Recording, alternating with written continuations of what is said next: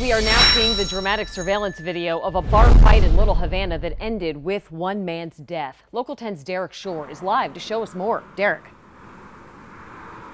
Well, that suspect saying that he had to stab and kill that man or else he could have been killed himself. It all happened back in May here at Joseph's Club upstairs. Most of it caught on tape.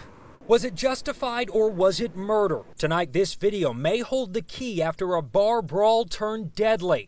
It happened here at Joseph's Club on Northwest 7th Street in Little Havana back in May, the middle of the afternoon. Police placing 45 year old Miguel Guevara under arrest, charging him with second degree murder of 23 year old Jesus Hernandez. But Guevara is claiming that this was a case of self defense. The video shows Guevara with the bald head in an argument, punching the victim victim three times, at one point going after him with what appears to be a knife in his hand, while other patrons hold him back. A few seconds later, the camera catches who appears to be Hernandez lunge at Guevara with what is said to be a broken beer bottle in his hand. Guevara turns back and stabs Hernandez twice, killing him.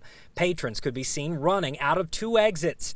Guevara's attorney reportedly claiming his client was afraid for his life when he stabbed Hernandez and should be immune from prosecution under Florida's Stand Your Ground law.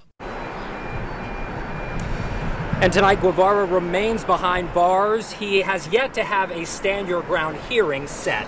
We're live in Little Havana. Derek Shore, Local 10 News.